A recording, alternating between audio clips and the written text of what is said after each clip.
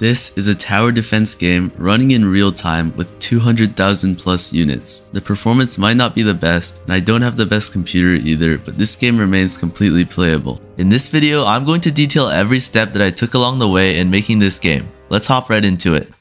For this project, I'm going to use the Bevy game engine and the programming language Rust. Right off the bat, we need a way to render a very large amount of units. With that in mind, let me introduce instanced rendering. Usually we would go around and render meshes one at a time, but what if we took one singular mesh and just copied it around a lot for every unit? We're able to render every unit in one draw call. With that in mind, I decided to stress test this system by rendering 1 million cubes, and it worked quite well. Some of you might know that Bevy actually does automatic instancing as of version 0.12 of the engine, but there's a reason I'm implementing it on my own. By writing my own shader, I'm able to only include rendering properties that I need such as using simple tricks to fake lighting in a custom shader, which will be marginally more performant than the standard materials which Bevy provides. Another big reason is that Bevy renders objects per entity, and I'm not actually going to be using Bevy's ECS system for the units themselves in order to improve performance. Okay, enough messing around, let's start creating some units. I rearranged all the cubes so they were on the same Y level and made them the same color. You might notice that the FPS has dropped from a stable 40 FPS to close to 22 FPS. That's strange, why why is this happening? Well, if you look closer, you might notice a grid on the floor. In this scene, we are partitioning the cubes onto a massive grid in what is called spatial hashing. Those of you who have watched my previous video where I created a battle simulator game might remember a term called spatial partitioning. I'm going to be using a very simple form of spatial partitioning which basically divides our scene into a very large grid. Each logic update, we iterate through this grid and update the units in this grid while only checking collisions with units that are in the same cell. This avoids looping through every other unit when checking for collisions in what will ultimately become a very inefficient ON squared approach to collision detection. The spatial hashing method which I'm about to introduce is very easy to implement because all it takes is some basic arithmetic. Allow me to demonstrate. Let's say we have a grid which is just a 1D array with indexes assigned to each cell as follows. The dimensions of each cell are 3x3 for the purpose of this demonstration,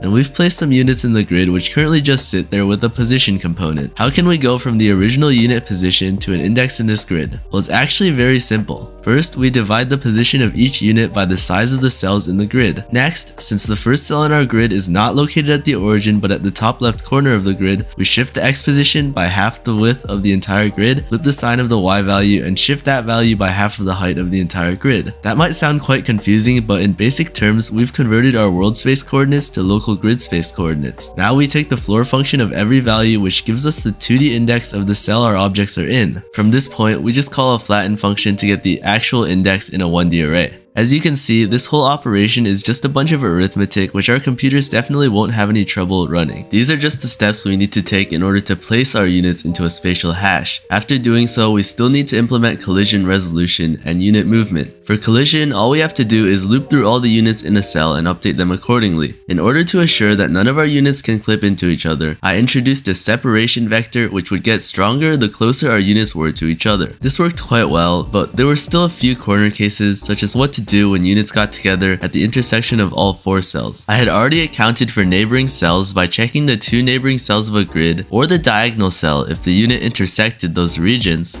but it seems that the solution which I came up with doesn't account for units when they're at the intersection of all four cells. I decided to accept this compromise because solving this singular corner case, which is very unlikely to actually occur in a game scenario, would mean even worse performance than I had already sacrificed in checking a limited amount of neighboring cells. Now that we have a system in place, it's time to replace our cubes with an actual 3D model. So I created this orc model in Blender and even made a texture for it. After adding some uniform variables for the texture, I was able to modify the rendering pipeline to support support textured meshes, and now we have some actual units in our scene. But this isn't enough. The units are kind of just sliding around and it all seems super unrealistic without animations. To add animations, we can't just rig a model traditionally and call it a day. To make full use of our instancing system, we are going to need to create each animation frame statically in Blender and export these frames as a mesh. To play the animations, we need to create multiple groups of instanced meshes instead of just one and dynamically modify the buffers each frame to draw animated units. It does seem like a cheap hack, but it's one that takes a very minimal toll on our resources and that's really what's the most most important.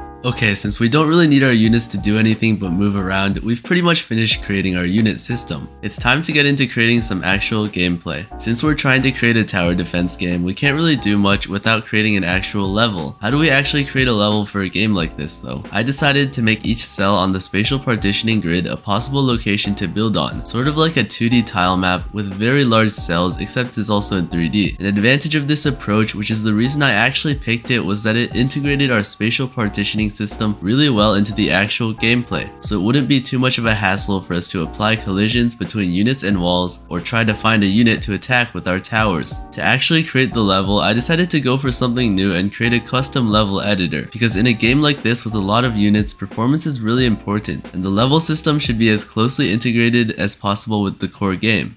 So I created a few 3D models for our tiles and put them all into one directory. I forgot to mention that you can also stack tiles on top of each other, sort of like how you would in a voxel game except it's not actually 3D in the sense that everything is laid out on a 2D grid logically. You might notice that I also have textures in this directory. It wouldn't be very interesting if every tile had the same texture in our scene either. I basically parsed this directory in my code and loaded all of the models and textures into the game. After loading I created an instance rendering group for each of these models and you can then select which which model to place in the editor. Of course, I did also create a save system so that my changes were permanent. If this eventually becomes a full game, it would be nice to have a tool like this for creating and loading saved levels. So after doing some editing off camera, we have this scene and as you can see, collision is working quite well.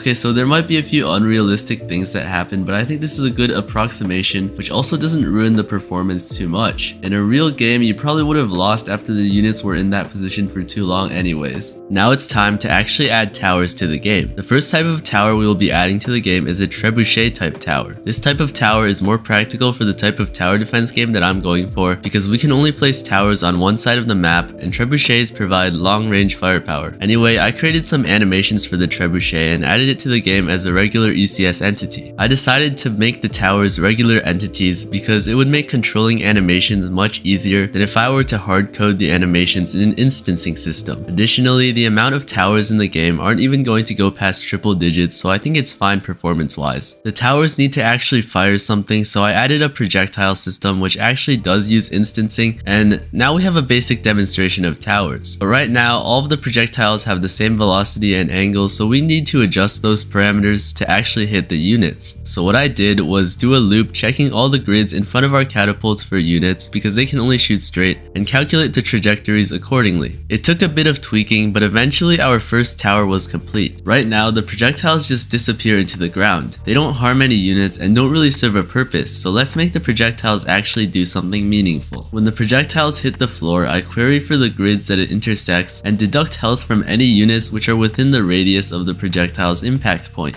Okay, so now the trebuchets are actually functional gameplay wise, but it's kind of unsatisfying that the units just disappear with no trace once they die. Additionally, I find it kind of annoying that the projectiles just despawn once they hit the ground. So I made this death animation in Blender which will spawn once an enemy dies, and I also made the projectile of the trebuchet stop on the ground a bit before despawning to seem more realistic. And to top it all off, I made the projectiles shoot with some inaccuracy to both make them more realistic and to also prevent them from ignoring some units which just walk past the target area while the projectiles are traveling in the air. Okay, our trebuchet is finally finished and we have a baseline for any type of tower with physics-based projectiles that don't guarantee a unit hit. So you might be noticing that there are a lot of stray units walking in front of the group. Our trebuchets didn't hit these units and will waste a lot of ammunition trying to hit them with inaccurate strikes. So now it's time to create a close range tower with homing projectiles that actually have a guaranteed hit. However, at the moment, the trebuchets can also technically hit units at close range, so I limited them to hitting units that are a certain distance away. That way, people can't just spam long range AoE towers like the trebuchet to win the game. To begin, I hopped into Blender and created a bow tower which sort of looks like the X-bow from Clash Royale. The homing projectiles store a reference to a unit position and just consistently home in on that specific position. By using the lerp function, we are able to guarantee that our projectile reaches a certain point within a time frame. Or that's what I thought I was gonna do, but after diving into the implementation, I realized that storing references was simply not possible with the grid hashing system which I had created, so I settled with destroying the closest unit to where the arrow landed while also making sure that the arrows don't take too long to get to their final destination, which is no longer a reference but just a fixed position. This is an example of a compromise that you have to make to increase performance in games with a lot of units. And with that, I've managed to create a pretty convincing prototype of the game. If you guys want me to expand on this game in a part 2, let me know in the comments. That's all for this video. If you enjoyed this video, consider dropping a like and subscribe, and I hope you guys have a good day.